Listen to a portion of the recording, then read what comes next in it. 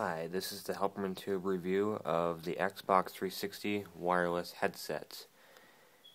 So, if you're ever playing Halo 3 or Call of Duty Modern Warfare 2 or Halo Reach or any of the really popular games out there, sometimes you would like to talk to your fellow teammates or fellow enemies.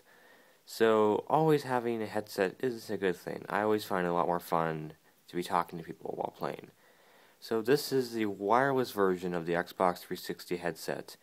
And overall, it's pretty nice. It's a little clunky though.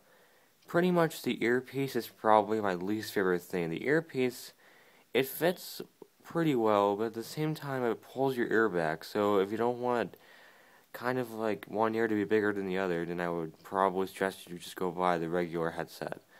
And also, while putting this on, I've had constant trouble while putting it on accidentally pressing the power button, which has been very annoying. Also, the wireless headset does not always calibrate correctly or always uh, be assigned to one specific controller. So overall, it's an okay piece of machinery, but it's pretty clunky, I think. And it, I think it should be touched up, touched up a little bit.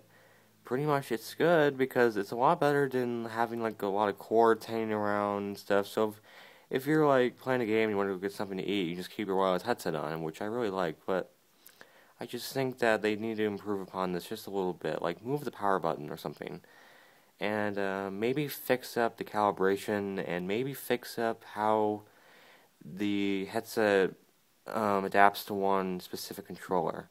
Because I've tried, because if you press the, the sync button on the controller and the sync button on this, it's right there it doesn't work. You have to do it on the actual Xbox 360 console itself. So these cost like 50, 40 bucks. I'm not quite sure. It's not really worth it, honestly. So you can just go buy a used one. It works just fine. So um, I'd probably just suggest you go with a regular headset. It doesn't hurt your ear and it works a lot better. Thank you very much. Uh, come back later for some more reviews of video games, hardware, and so on and so forth. Thanks. This is Helperman Tube signing out.